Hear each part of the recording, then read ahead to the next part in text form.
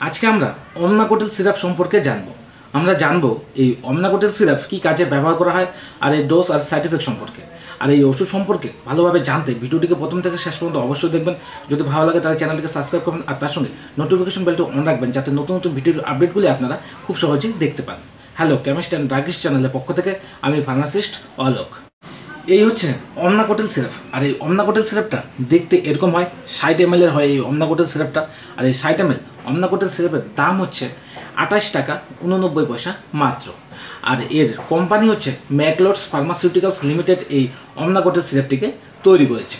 আর এই অমনাকোটেল সিরাপের মধ্যে উপাদান আছে পেডনিসোলন ফাইভ এমজি এই পেডনিসোলন ফাইভ এমজি দিয়ে এই অমনাকোটেল সিরাপটি তৈরি হয়েছে। এক কথায় এই পেডনিসোলন হলো এক ধরনের স্টেরয়েড ওষুধ। আর যে কোনো স্টেরয়েড ওষুধ ব্যবহার করার আগে তার সম্পর্কে ভালো করে জানা দরকার। কেননা, যে কোনো স্টেরয়েড ওষুধই আমাদের শরীরে অনেকটা ক্ষতি করতে পারে। আর যে কোনো স্টোরেজ জাতীয় ওষুধ খাওয়ানোর আগে অবশ্যই একবার আপনারা আপনাদের ডক্টরের সঙ্গে পরামর্শ নেবেন। আর এই অমনাকোটেল স্টোরেজ জাতীয় ওষুধ বা এই অমনাকোটেল ওষুধটিকে ডক্টর একটা নির্দিষ্ট দিন পর্যন্ত দেয়। কেননা, যেহেতু স্টোরেড ওষুধ যে কোনো স্টোরের ওষুধই খাওয়ানো বাচ্চাদের পক্ষে সব থেকে বেশি একটা ক্ষতিকরের ব্যাপার। তো সেজন্যই একটা নির্দিষ্ট দিন পর্যন্ত যতটুকু প্রয়োজন, সেই একটা নির্দিষ্ট দিন পর্যন্ত এই ওষুধটিকে ডাক্তাররা প্রেসক্রাইব করে থাকেন। কেননা স্টোরেজ জাতীয় যে কোনো ওষুধই যদি দরকারের থেকে, প্রয়োজন থেকে যদি আমরা বেশি খাওয়াই, তাহলে কি একটা সমস্যা দেখা দিতে পারে। আর আমরা জানব, এই অমনাকোটেল সিরাপের মধ্যে যে পেডনিসোলন ফাইভ এমজি আছে, এই পেডনিসোলন ফাইভ এমজির কাজটা কি? এই পেডনিসোলন হলো বাচ্চাদেরকে, বাচ্চাদের জন্য সব থেকে বেশি প্রেসক্রাইব করে ডক্টররা মাঝে মাঝে দেখা যায় যে বাচ্চাদের অতিরিক্ত ঠান্ডা লাগার পরে একটা কী হয়ে যায়, সর্দি কাশি দেখা যায়।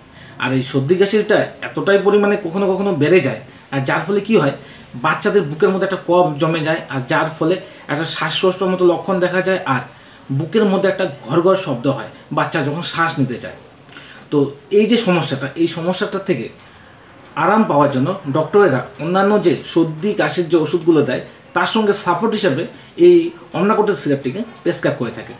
কেননা এই অমনাকোটেল সিরাপটা বাকি যে ওষুধগুলো আছে, সেই ওষুধগুলোকে আরও দ্রুত বা ভালোভাবে দ্রুত গতিতে কাজ করার জন্য খুব কাজ ভালোভাবে কাজ করে। আর তার সঙ্গে বাচ্চাদের যে এই যে শ্বাসকষ্টর যে সমস্যাটা আর বুকের মধ্যে যে একটা ঘর ঘর শব্দ শ্বাস নেওয়ার সময়, সেই শব্দটা আর এই বুকের মধ্যে কফটাকে খুব তাড়াতাড়ি ক্লিয়ার করে দেয় এই অমনাকোটিল সিরাপ এই অমনাকোটিল সিরাপটা শুধু বুকের এই যে শ্বাসকষ্ট বা বুকের এই যে শব্দটার জন্যই যে ডক্টররা দিয়ে থাকে তা না। এছাড়াও শরীরে যদি বাচ্চাদের যদি দেখা যায় কোনো ইনফেকশন হয়ে গেছে ইনফেকশনের ফলে শরীরে একটা চুলকানোর মতো লক্ষণ দেখা দিচ্ছে, দেখা দিয়েছে। সেই লক্ষণটা লক্ষণের মাত্রাটা, যদি চুলকানো বা ইনফেকশনের মাত্রাটা অনেকটাই বেশি পরিমাণে হয়, তো সেই ক্ষেত্রেও ডক্টররা করে কি? যে অন্যান্য যে ওষুধগুলো প্রেসক্রাইব করে থাকে, তার সঙ্গে সাপোর্ট হিসেবে এই অমনাকোটিল সিরাপটিকে প্রেসক্রাইব করে থাকে। কেননা সেই অমনাকোটিল সিরাপটা যদি সেই বাকি ওষুধের সঙ্গে যদি বাচ্চাকে দিয়ে দেয়, তাহলে হয় কি, বাকি ওষুধগুলো খুব তাড়াতাড়ি কাজ করে আর তার সঙ্গে বাচ্চাদের যে ইনফেকশনগুলো আছে, সেই ইনফেকশনটাকে খুব তাড়াতাড়ি আরাম দেয়।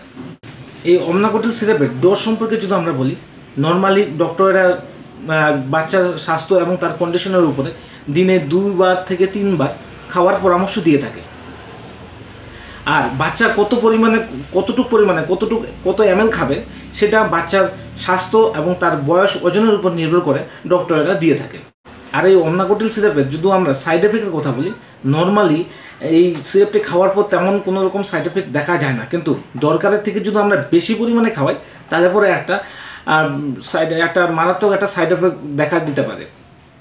আর নর্মাল যে সাইড এফেক্ট যেটা দেখা দিতে পারে কখনো কখনো, সেটা হচ্ছে সারা শরীরে একটা ইচিং অথবা একটা লালচে লালচে দাগ, গুড়ি গুড়ি ভাব হয়ে যাওয়া শরীরে, আর তার সঙ্গে অতিরিক্ত অতিরিক্ত একটা ডায়রিয়ার লক্ষণ। এরকম যদি লক্ষণ দেখা যায়, তাহলে অবশ্যই আপনারা একবার আপনাদের ডক্টরের সঙ্গে পরামর্শ নেবেন। এটাই ছিল এই অমনাকোটিল সিরাপ সম্পর্কে আজকে আলোচনা। আশা করি ভিডিওটি ভালো লেগেছে। যদি ভালো লাগে, তাহলে চ্যানেলটিকে অবশ্যই সাবস্ক্রাইব করবেন। আর তার সঙ্গে এই ওষুধ সম্পর্কে যদি আপনাদের আরও কিছু জানার থাকে, তাহলে অবশ্যই কমেন্ট করে জানাবেন। ধন্যবাদ।